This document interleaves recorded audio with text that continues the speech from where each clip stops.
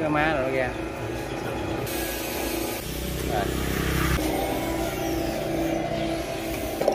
thì à, quá trình xây quá trình à, này à, sát bắt đầu được dắt ra ha. Cái máy này thì mục đích là để dắt cái nước ra. Còn muốn kỹ hơn nữa cái nước này ra này mình sẽ cho qua cái tấm vải mùng gì đó rồi có quả vậy đó để lọc nó bỏ luôn sát sạch sẽ hết. Thì xét cho nó ra ra nó dắt hết kiệt nước và dạ, bả của thằng à, trong cái à, vòng phấy luôn. Để mình à, phấy, mình cho đường nghe vô mình phấy.